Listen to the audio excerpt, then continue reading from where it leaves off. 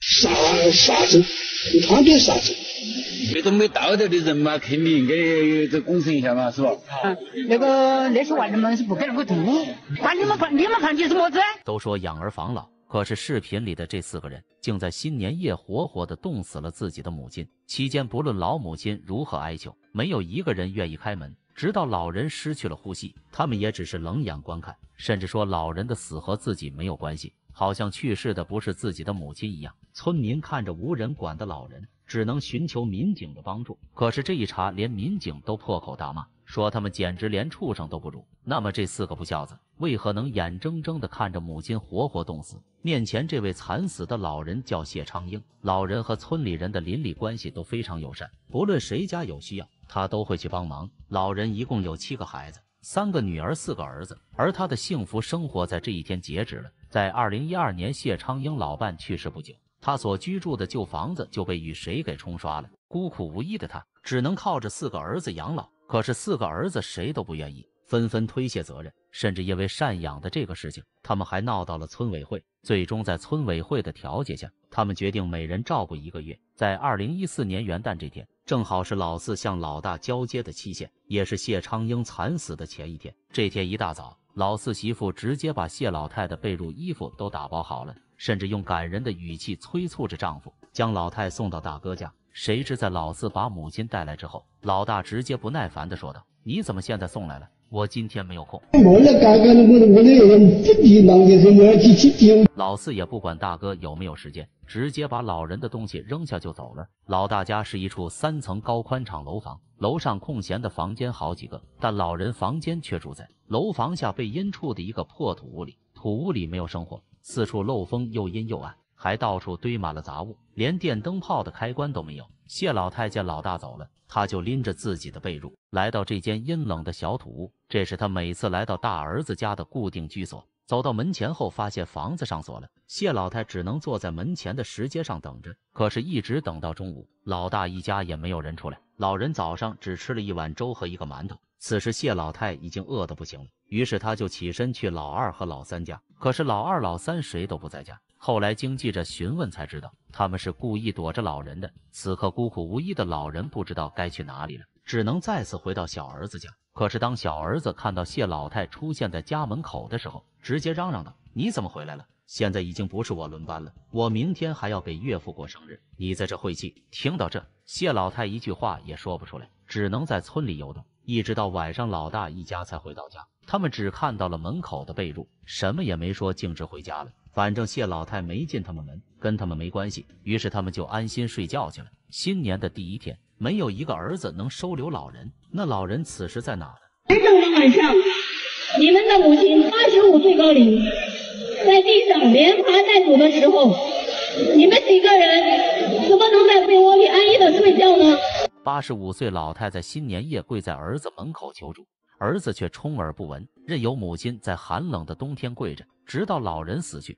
儿子脸上也没有一点愧疚，在老人去世之前，一直在村里游荡到晚上。老人见大儿子还不回家，于是开始再一次去老二和老三家。由于老二和老三家住的地方路比较难走，就在马上到老二门口的时候，谢老太突然脚下一滑，脑袋摔到了旁边的石头上。可是眼下无人，谢老太只能自己拄着拐杖一步步往前挪。好在老二和老三家里有人，可是没有一个人给谢老太开门。于是谢老太跪在老两家门口哭喊着：“回回救救我！”声音大的连旁边的邻居都听见了。可是二儿子装作听见母亲的哀嚎声，一点没有搭理的意思，还骂邻居不要多管闲事。老三认为现在不该自己轮值照顾，没有义务为母亲开门。你搞的事你都要搞，不该你搞的事，我就认为是不该我搞的事，我都没管，就是这个意思。不论老人在寒冷的冬夜如何哭喊哀求，他们都没有丝毫的动摇，一直到第二天天亮。起床送孩子上学的老二，才将老人搀扶到树下。而此时的谢昌英已经意识模糊，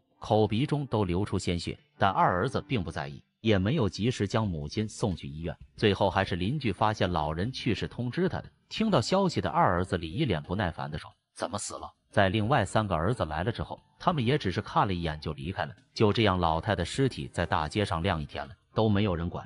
村民让他们儿子去处理，哪成想他们只说这事和自己没关系，老母亲死在自己家门口，却和自己没有关系。无奈之下，村民只能请来民警。民警把谢老太的儿子们找来询问，可是他们一直在踢皮球。老三说自己什么都不知道，他死的时间不是我我也个我个人也不清楚。老二却说母亲本来该在大哥家的，不知道怎么就到自己家了。可是老大却说老四没有送过来，而且自己也不知道母亲是怎么去世的。四儿子不用说，也是把责任推得干干净净。在谈及老人下葬的问题，这四个儿子都说不是自己事，和自己没有关系。在民警发现老人头部有出血之后，立刻叫来了法医。在法医经过尸检之后，发现老人的去世非常可疑，那么老人去世的真正原因究竟是什么呢？八十五岁的老母活生生的冻死在儿子家门，儿子看见后置之不理，甚至直言晦气。后来还是村里人帮忙办的。在检查尸体时，法医发现谢老太的去世非常可疑，最后发现老人并非正常死亡，甚至发现老人生前有受到过殴打。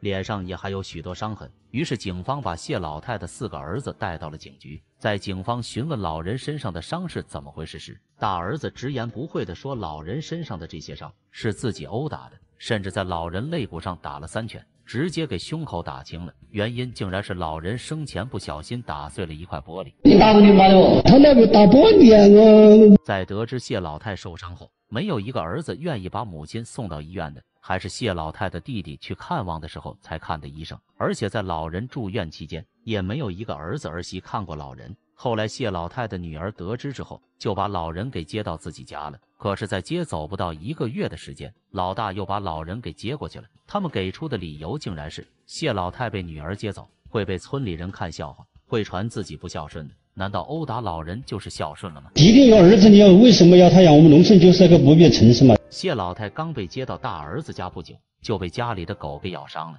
而且不论老人去任何一个儿子的家，都会受到冷眼和漠视，有时候甚至连一顿饭都吃不上。当老人去世的真相被揭开之后，所有的村民都感到愤怒，甚至有村民说他们都是杀人犯，就算一个陌生人求救，都应该开门看看。更何况是自己的母亲，这简直就是丧尽天良。于是村民们联名给当地公安局写了一封信，要求严厉惩罚他们。不久后，法院直接把法庭搬到了村子里。当这四个儿子当着全村人被批判的时候，他们还在互相推卸责任，脸上没有一个有难过的表情，好像对他们来说，去世的不是自己的母亲，而是一个外人。这场审判一直从早上开到中午十二点。最后，法院以遗弃罪判定老大两年有期徒刑，其余三个儿子判处有期徒刑一年六个月。说这话的时候，老大默默流下了眼泪。不过，这不是为过去对母亲的不孝而流泪，而是自己即将面对两年刑期而落泪。四个不孝子从始至终都没有表露过惭愧。